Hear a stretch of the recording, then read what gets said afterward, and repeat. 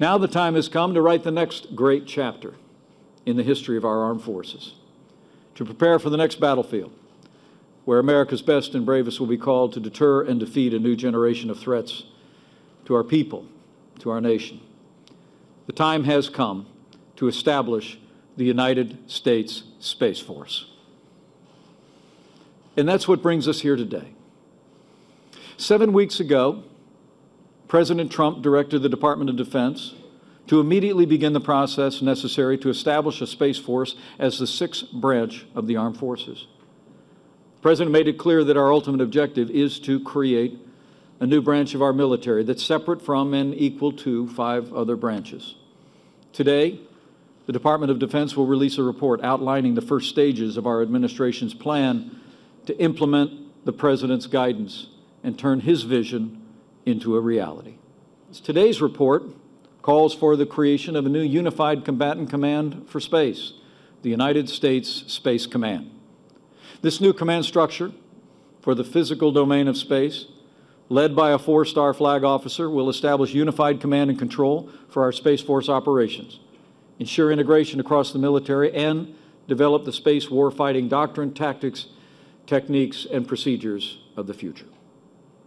The second step this report calls for is the creation of an elite group of joint warfighters specializing in the domain of space, who will form the backbone of the nation's newest armed service, Space Operations Force.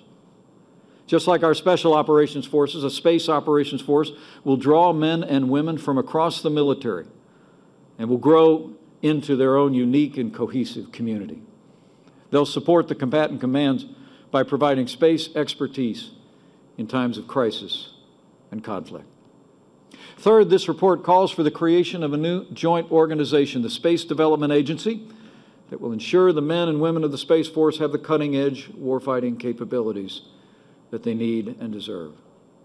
While our adversaries have been busy weaponizing space, too often we have bureaucratized it.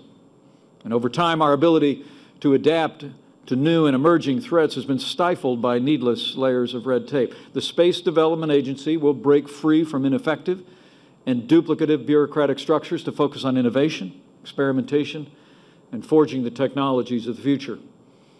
Men and women of the Department of Defense have pioneered some of the most groundbreaking discoveries in our armed forces that literally have revolutionized our national defense in times of need. From General Schriever's creation of the intercontinental ballistic missile to Admiral Rickover's development of the Navy's nuclear enterprise. And now, we must do our part to make bold breakthroughs, strengthen America's industrial base, and deliver the cutting-edge warfighting capabilities faster than our adversaries could ever imagine. And that's exactly what Americans will do.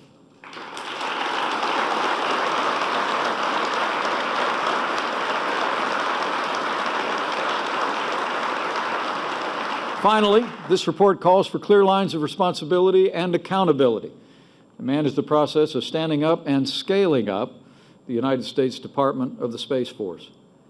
Creating a new branch of the military is not a simple process. It will require collaboration, diligence, and above all, leadership.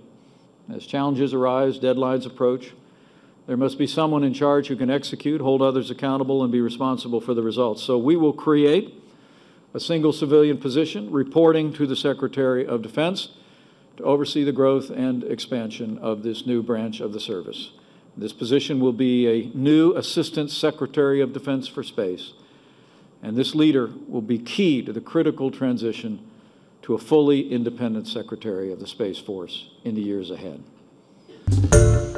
Hi, everyone. George Stephanopoulos here. Thanks for checking out the ABC News YouTube channel. If you'd like to get more videos, show highlights, and watch live event coverage, click on the right over here to subscribe to our channel. And don't forget to download the ABC News app for breaking news alerts. Thanks for watching.